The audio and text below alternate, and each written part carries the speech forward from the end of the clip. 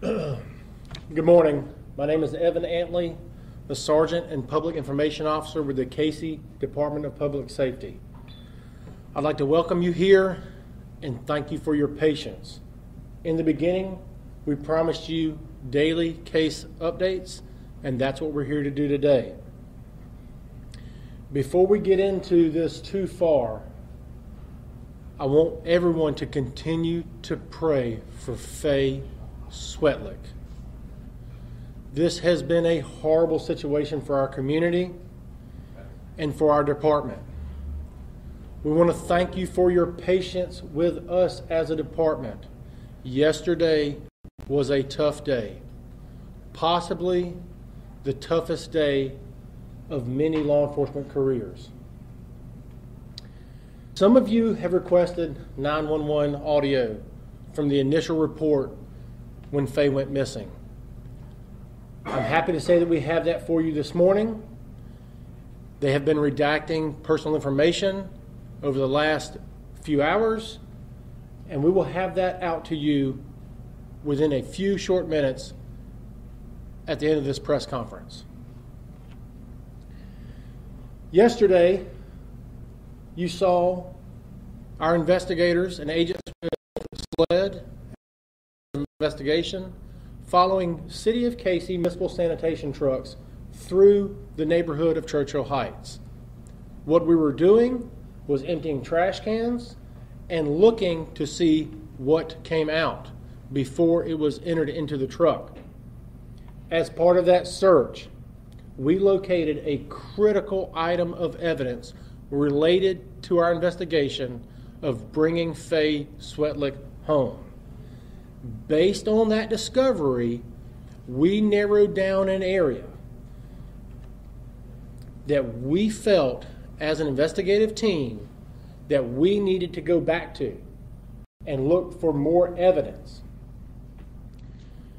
Director Snellgrove and the leaders were in the area planning a, a methodical, a, another methodical search of that area.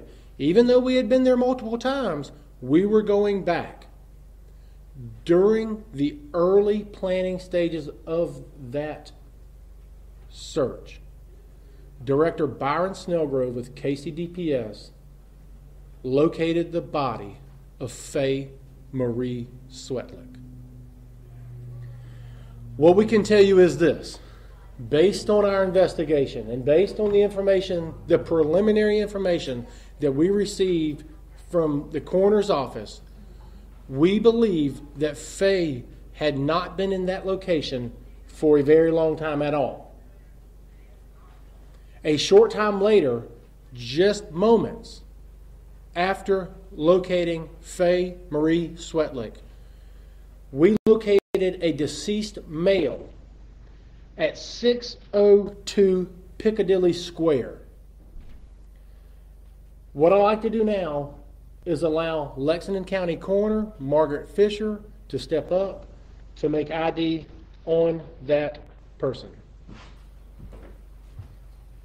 Hey, everybody. First, I want to say thank you. Thank you for covering this case so diligently. And thank you for your patience in allowing my office and all the other law enforcement agencies to to handle business and to get the information we need. And you guys have been so patient with waiting on all of our news releases, so we really do appreciate that. Um, I'm here to identify the uh, male that was found on the scene. Um, so I'll spell his name. It's going to be a Caucasian male. He's 30 years old. His first name is Coty, C O T Y. Middle name is Scott, S C O T T. Last name is Taylor, T A Y L O R. Um, he did reside at 602 Piccadilly Square, and as you know, the autopsy for him will probably be on Saturday as well, and we won't know any information on the cause of death until after the autopsy is completed. And at, at that time, we'll, I'm sure we'll do another news release and give you that information. But it's going to be Saturday. Um, probably by Saturday afternoon, we'll know more about about him. Okay. Thank you. What about the autopsy? No, after? um, I got more to give you. So there are a lot of questions out there. What I can tell you is this. The male body that was just identified as Coty Taylor was our evidence and our investigation does link these two together. I can confirm that he was a neighbor, that he was not a relative, he was not a friend, he was merely a neighbor in, that lived in Churchill Heights. At this time, I want to assure you, our community, and all of our parents out there that there is no, we have no reason to believe that there is an active threat in the Churchill Heights community or the city of Cayce as a whole. We have no suspects at this time. We have made no arrest, and we are not seeking any persons of interest as of this time. Lastly, I want to say this.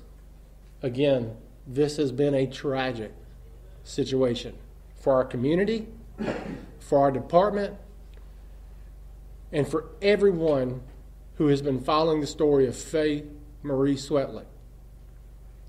We want to thank the community for their tips. Without them, we may not be where we are. We want to thank that neighborhood. We went in there and turned their lives upside down. We made them late for work. We searched their homes and we invaded their privacy. But we did it for a reason and we had a goal. This is not the outcome we wanted, but this is where we are, and our work continues to bring justice for Faye Marie Swetlik. I do have time for questions. There are some things about this investigation that I'm not going to be able to tell you about. But I do have time for questions, and we can take those now. Yes, sir, in the Can back. you say if they were, where they were both found, and if they were both found inside his residence, and if so, where?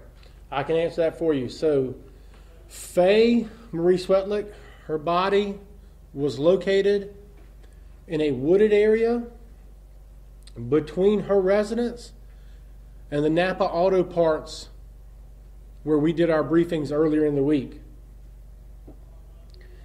The body of Coty Taylor was located at his residence.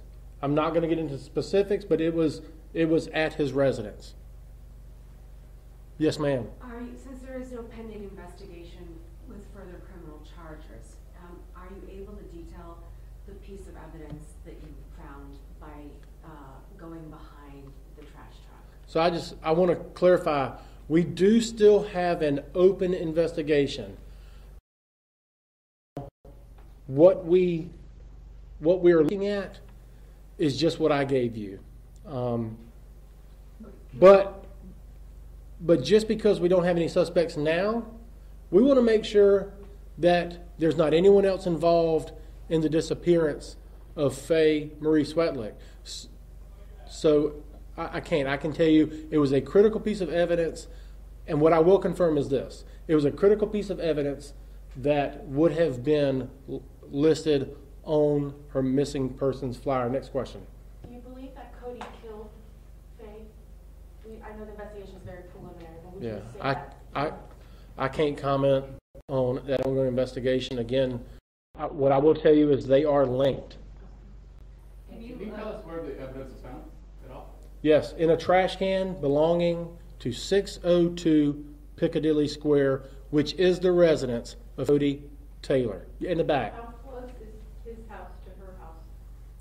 100 to 150 feet. So all, all in that area, there is Londonderry Square and Piccadilly Square. It's some small, uh, similar to townhomes that are right next to one another, and they once and they're right. I mean, those two lanes are right next to each other. Yes, sir. Did Coty Taylor have criminal record or was known to KCDPS? He has no criminal history, and he was not known to law enforcement. Down here. Uh, I'm wondering if you could tell me whether you believe his to also be a homicide and if you have a date of birth for him. Yes, so we're, I'm not gonna stand up here and speculate on his cause of death at this time. We're gonna wait to cooperate with the forensic pathologist before we say anything about that. I do have a date of birth for him. It is three nine of nineteen eighty-nine. Like I said, we'll know more about his cause of death tomorrow. Sergeant Anthony, can you talk about, uh, you, you all knocked on doors, you searched homes. Had you searched Mr. Taylor's home before you found, or before law enforcement found him? We had talked to Mr. Taylor. We had been inside his home. Absolutely, we had. Yes. Was the body of Faye buried, or was it just like in a I'm, yeah, I'm not going to comment on the condition of her body. That's, I appreciate your question, but I, I feel like if I, it'd be insensitive at this time. Right here, yes, ma'am. Is, uh, you, you say that there's a definitive link, is it, uh, DNA? N- What I'm telling you is, is that part of our invest, that evidence in our investigation links these two. They are not, it's not Faye and then a totally separate case. They are linked. But you can't tell us that. I, I- I can't, I'm not gonna give you the specific details on how. I don't want to, um, we're still, what I can ask you for is this. We want more information about Coty Taylor starting at three forty-four Monday afternoon up until the time that we, um, announced that we had found his body. We have time for one more, and then these guys gotta Can you tell us how the family has been so far? How, how, how are they holding up and everything? You know, I, unfortunately, I personally have not talked to them, but what I can tell you is this, is that we have victim specialists with them. My heart breaks for that family. As a parent, how do you go through that?